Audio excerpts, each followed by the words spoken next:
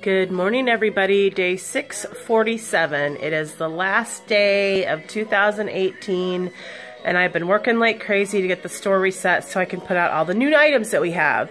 And I'm happy with what's happened so far. So, this whole back area has changed. I decided to line the chairs all up here. I put the dryer by, excuse me, an outlet so people can sit in it and see it's worked.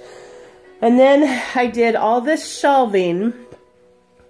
So I've got things arranged even better. I had already separated it out into like, you know, photo frames in one place, glassware in another place.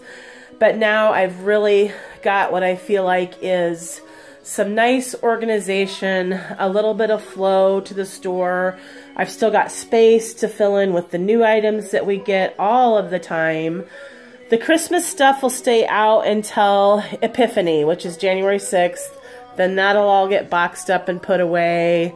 Um, I'm going to work on this corner just a little bit here, but I have this whole space that I can fill in, and I'm excited because I have all of this stuff ready to work on and go. So that's what I'm doing today. Today I am finishing every project that you see in this store or in this room. Some things have a little things left to finish.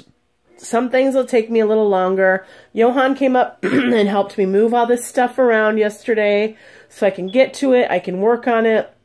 I'm ready to go. Even though I'm still sick, and so is he, I'm getting it done. I promised a store reset. I promised seven, several new items right after the first of the year, and we are going to get it done. So happy new year, everybody. We've had a wonderful 2018.